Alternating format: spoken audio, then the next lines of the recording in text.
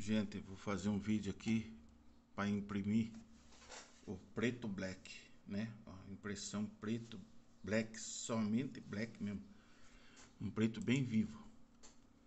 Papel fotográfico gloss, tá?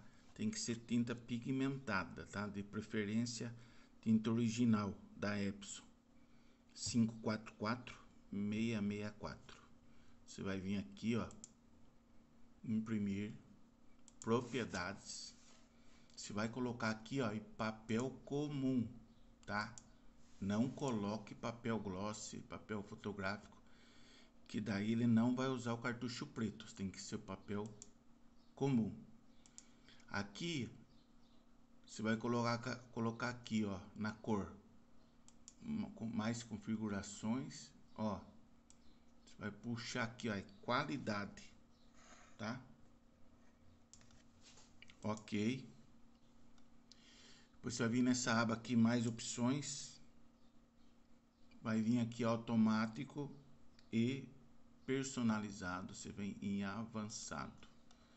Você vai por aqui, ó, brilho e contraste. Vai puxar o máximo, tá?